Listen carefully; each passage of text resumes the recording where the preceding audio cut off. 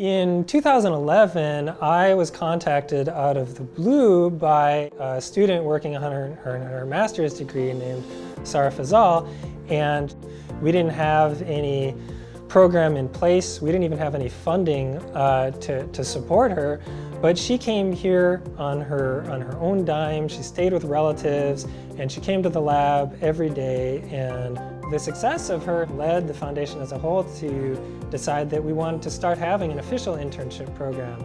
And so the next year, uh, which was 2012, was the first year of the Summer Scholars uh, internship program. And every year since, I've mentored a student as well as being a part of the selection of, uh, of students for the, for the program. My name is Navneet Ramesh. Uh, I actually just graduated from UCLA. And in 2013, I interned at the SENS Research Foundation with Dr. Geraldo Silva. I think the biggest thing uh, with my experience at SENS is uh, my project was something that I'd never even heard of. And I think what Geraldo did is he explained the project in a way that I could understand it and he was always you know, available to answer any questions, guide my project, help me you know, if I had any problems at all. Navneet Ramesh was my first intern student at the SENS Research Foundation.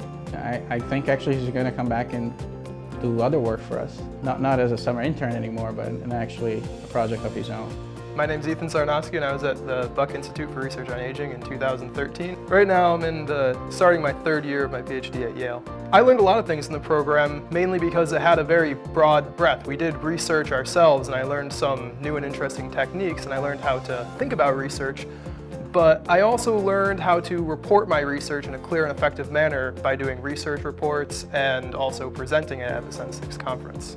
The program is probably what made me continue pursuing uh, aging as a field of research. For anyone just who's curious, but especially for people who are interested in you know, research, trying to develop you know, solutions to some of the biggest problems, uh, it's really important to get involved early. So I think that's key. That's key to forming the next generation of scientists and I'm, I'm, sure that that's what we're doing here. Hope, hopefully they will continue in a career that's you know, related to uh, aging research.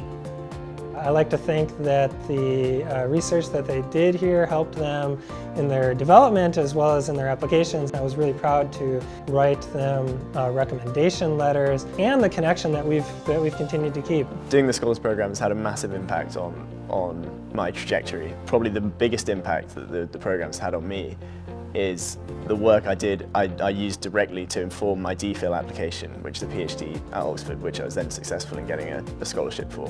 I think my favorite thing about the program was that I was surrounded by people that had a like-minded goal, that is to prevent age-related disease or ideally reverse age-related disease. Being surrounded by great people makes you able to do great work. This program played a huge role in my development as a researcher, so I think that if it did this for me, it can do it for others as well.